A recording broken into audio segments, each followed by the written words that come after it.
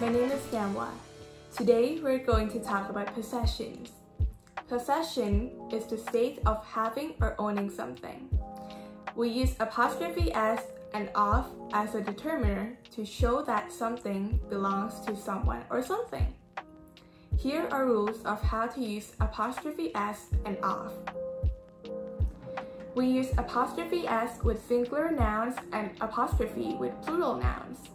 For example, the boy's hat and the girl's bedroom. Next, we use apostrophe s with irregular plural noun, like children, people, and women. For example, the woman's hats and the children's parents. Now, let's move on to the next one. What if we want to talk about cars that are owned by a man named James? Well, we can either add apostrophe or apostrophe s but using apostrophe is more common than apostrophe s.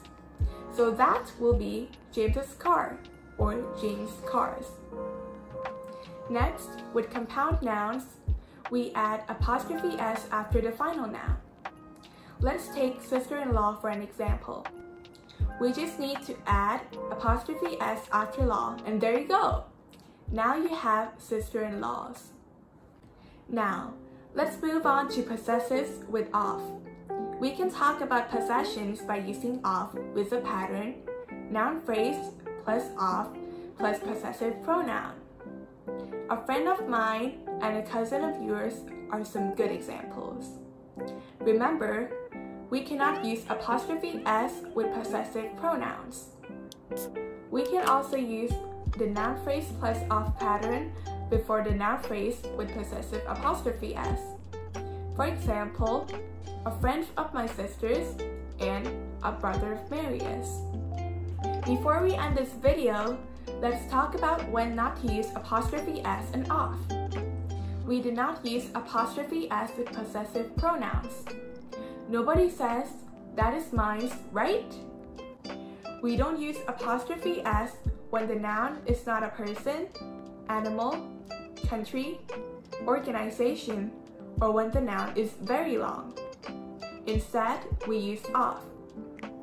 We don't really say the richest man in the world's company, but we would rather say the company of the richest man in the world.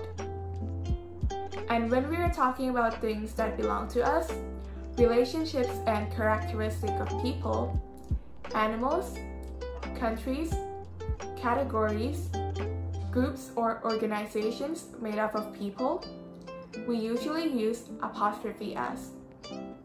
Instead of saying the bedroom of the man, we would rather say the man's bedroom. That's it for today guys. It seems like we have to say goodbye now. Thank you so much for watching my video until now. I hope you guys enjoy it and I hope you guys can understand more about possession. Bye! Thank you.